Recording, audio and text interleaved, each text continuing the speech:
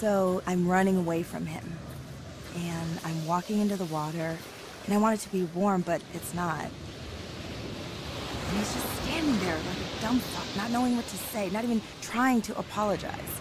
So I jump in the water. I know that this is crazy. Grab the biggest rock I can find. I feel and I bash his face in like a shitty pinata.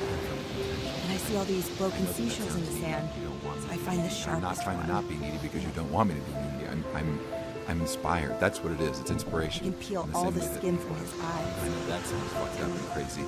You're not my god. You're doing your own thing. You have your entire own gravity, and you're like a solar system, and I'm just this shitty planet. And I like rip all the way down from his throat to his belly button, unzipping his chest. That may not happen for a million years, over but when we collide, the sky turns again, bright.